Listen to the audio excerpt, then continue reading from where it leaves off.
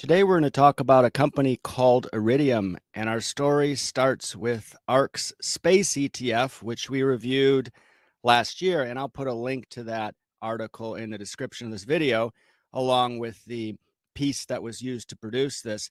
Uh, but when we reviewed ARK's ETF, it wasn't overly compelling. So we were able to take more than 80% of the holdings in the ETF at the time and put them into various buckets. You can see here that Defense contractors made up close to 30% of the weightings. Then, strangely enough, you had 3D printing. They actually had their own ETF included as a constituent for their space ETF, which is rather odd.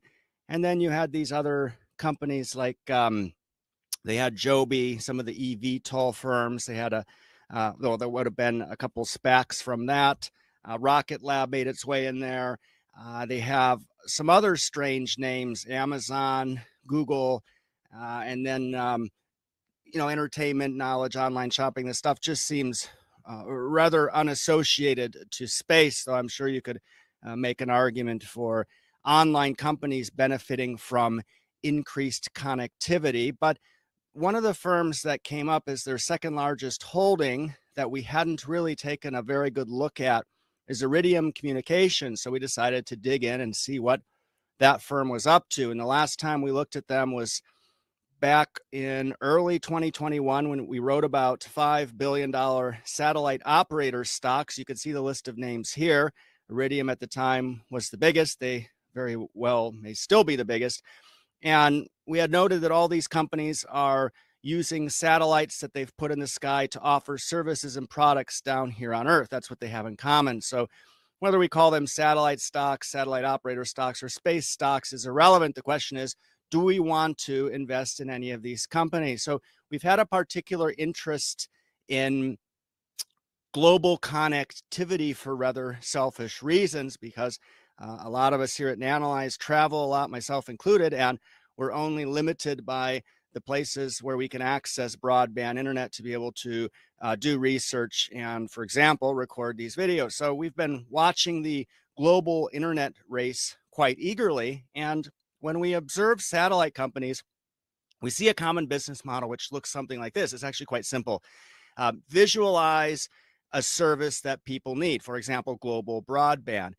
Then you need to spend billions of dollars up front that you've managed to get from investors to build your satellites, launch them into space, get them working, uh, wrap that in a software platform, turn on your service and start selling it. And then what you'll have is a lot of debt that you need to pay down that you incurred for the cost of the infrastructure. Now, the first time Iridium tried to do that, they spent $5 billion building their first constellation and they actually went bankrupt in 1999. Over the next decade, they spent $3 billion building their next constellation that went live in 2019 with 66 satellites. And now what they're doing is harvesting the cash from that platform. And this is a very nice table in their annual report. This is another firm that doesn't do a very good job of investor relations. So we tried to find a decent investor deck, of which they had none, but they had a two uh, clear or almost three hour video of their management team talking about how promising the company was. We sat through about half of that. But this table here provides enough metrics for investors to follow what they're getting up to. So you can see total revenue there in 2021 was 614 million.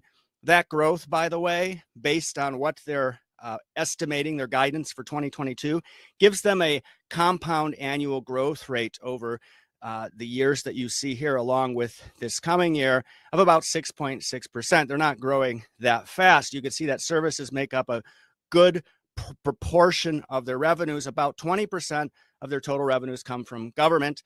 And you see here this nice, healthy 61.5% margin. You can see their growing subscribers over time, their capital expenditures dropping since they've already spent all that money deploying their satellites, and their net debt of about 1.6 billion seems to be uh, staying about the same. And one of the things they did was announced a $300 million share buyback program. I think that's probably to help improve uh, some of the ratios used on their debt covenants. So certainly want to keep an eye on uh, how they're able to manage that debt. But when we look at revenues broken down in more detail here, because we particularly are interested in how Iridium competes against Starlink, you know, SpaceX's subsidiary.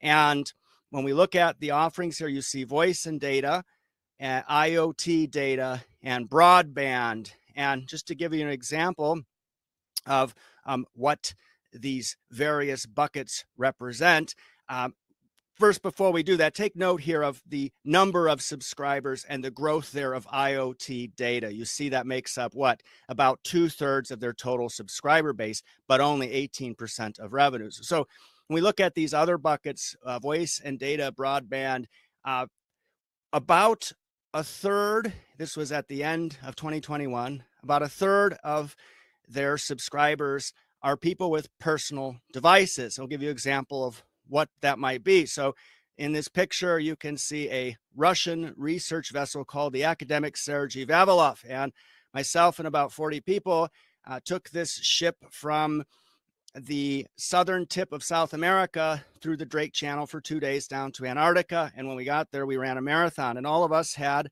Garmin watches on our wrists. And when we turned those on, they all worked along with the satellite phone that we had on the ship to send out text messages or make phone calls. It was probably one of the more remote places that I've ever been. Communication was extremely limited, but how is it possible that these $200 Garmin watches that we were all wearing were able to communicate? Well, Garmin happens to be a client of Iridium, and their technology is specialized in that it can allow a very small device to communicate with satellites and sort of a pay as you go plan, where you might think of Starlink as providing a big data pipe for a fixed cost. So that use case, the Garmin watch use case, is a great example of what the IoT opportunity looks like. So for Iridium, their IoT data subscribers have been growing at about 24% compound annual growth rate over the last five years. As we saw before, now representing about 74% of their commercial customer base. For example, their devices have been adopted as standard equipment on uh, heavy equipment manufacturers like Caterpillar, Hitachi, Komatsu, and Doosan, and they'll provide telematics solutions for end users. Trimble is also a client of Iridium. And the uh, 76% of subscribers that are growing uh, at 24% CAGR only represent 18% of total revenue. So you need to take that into account. And the company talks about this as being a very um, unique and uh, bountiful growth opportunity that they're looking to capture and that they don't see Starlink as a competitive threat in that niche. Certainly, broadband, you can see here 7% of their revenues would. But here's a very interesting article. I'll put a link to this.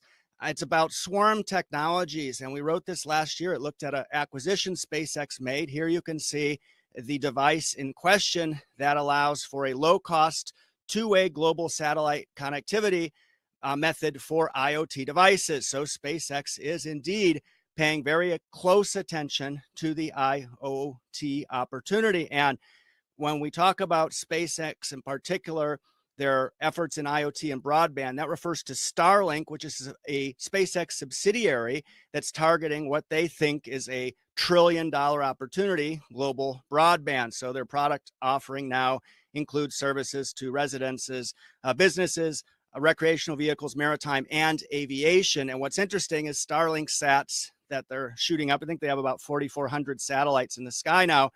Uh, the next generation, they're four to five times larger with an order of magnitude improvement in useful data throughput. For all practical purposes, it means 10 times better. So that's certainly a concern when you think about a company like Iridium that eh, is now having to compete against a entrepreneur who's been very successful at first principles thinking. He literally built his own rocket company, which is actually used to launch Iridium satellites, and used that rocket company to launch his own constellation. So when we look at Starlink versus Iridium, here's one example of the two companies, um, how different they are. So Iridium's management team talks about this, you know, future plan of licensing their technology to smartphone providers so that people can have connectivity when they're outside of cell phone service. But look at what SpaceX is doing this past summer, SpaceX and T Mobile announced what's called coverage above and beyond, which should debut next year with those big satellites that they're building, four to five times bigger than the ones they have now. If everything goes as planned,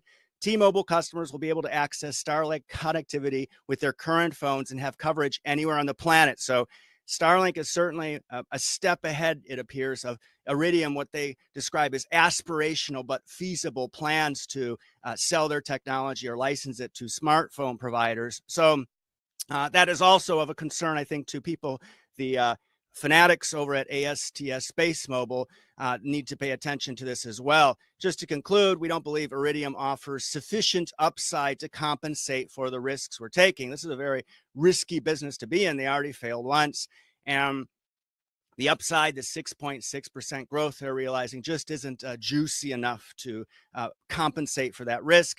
Their government revenue, revenues and uh, commercial relationships, these may provide sufficient barriers to entry. Look, there's no reason that you can't have Iridium uh, thrive alongside Starlink because it's such a large opportunity. But um, the question is, you know, if you were going to invest in one of those two companies, which would it be? And you always want to invest in leaders. So the clock is ticking on the 10 year capital expenditures holiday uh, for Iridium. And eventually they're going to need to have paid down that debt and raise uh, even more money to uh, replace their constellation. And of course, you know, SpaceX has a five year lifespan for their satellites, and Iridium has a 10 year. And there's actually an advantage to having a shorter lifespan because you can iterate your technology quicker. So um, please put your comments in the comment section. Make sure to subscribe to our channel. Thanks so much for taking the time to watch this video today.